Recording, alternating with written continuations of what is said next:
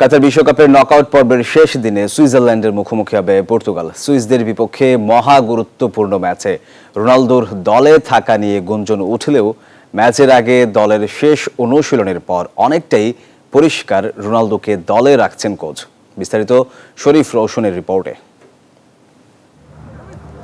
সময়টা মোটেই ভালো যাচ্ছে না পর্তুগিজ তারকা ক্রিশ্চিয়ানো রোনালদোর। যত স্বপ্ন আর আশা নিয়ে বিশ্বমঞ্চে এসেছিলেন, এখন পর্যন্ত তার সিকিভাগও হয়তো পূরণ হয়নি সিআর সেভেনের। তার উপরে আবার রাগিয়ে দিয়েছেন কোচ ফার্নান্দো সান্তোসকে দক্ষিণ কোরিয়ার বিপক্ষে রোনালদোকে ওঠানো হলে ক্ষুব্ধ প্রতিক্রিয়া দেখান তিনি। তাতেই চটে যান পর্তুগিজের কোচ। তবে ম্যাচের আগে এই বিষয়কে গুরুত্ব না দিয়ে দলই প্রাধান্য পাচ্ছে এই কোচের সামনে.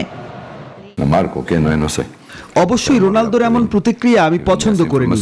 তবে এই ব্যাপারটা সেখানেই শেষ হয়ে গেছে। আপাতত ম্যাচের দিকে মনোযোগ দিতে চাই. আজকের ম্যাচের পূর্বে দারুণ এক মাইল ফলকের সামনে দাঁড়িয়ে রোনালদো। এক গোল করলেই দেশের হয়ে বিশ্বকাপে সর্বোচ্চ গোল করা ইউসোবিয়ার রেকর্ডে ভাগ বসাবেন সিআর সেভেন।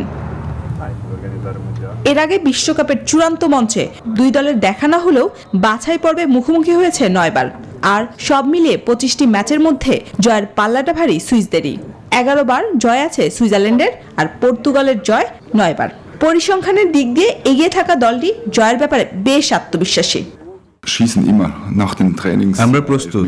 যে খেলোয়াড়রা অসুস্থ ছিল তারা এখন সুস্থ হয়ে উঠেছে। আমাদের ভক্তদের আরও একটি খেলা উপহার দিতে চাই যা নিয়ে তারা গর্ব করতে পারে। কাতারের লুসাইল স্টেডিয়ামে ম্যাচটি শুরু হবে বাংলাদেশ সময় রাত একটায়। শেষ দল হিসেবে কোয়ার্টার ফাইনালে নাম তুলবে কারা, সেটি এখন দেখার পালা। শরীফ রওশন, নিউজ টোয়েন্টি